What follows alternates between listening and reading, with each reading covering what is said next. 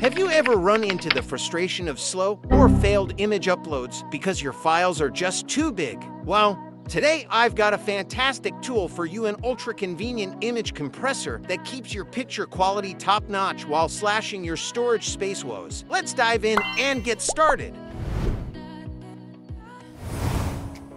Once you launch the software, find the toolbox and go to the photo page. Here we have the video and image compressor and hit it. Now we are on the video page, then switch to the image page. We can add files or drag image here. Let me show you how. Open the photo file and move your mouse on a picture, holding left button, then you can drag it. Also, you can batch import the pictures. Just select all the photos and drag to the software. It's very quick. Then we can adjust the quality of photos. The amount is bigger, the file size is larger, so adjust the quality as your need. And I think 50% is totally enough.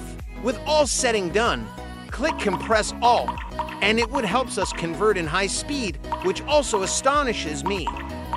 When it finished, it will automatically open the file we have compressed.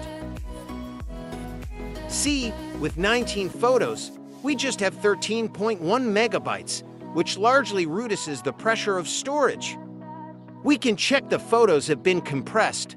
It's still colorful and ultra quality. And the link is put in the description. You can have a try. If you find this video useful, please give us a like and subscribe our channel. See you next one.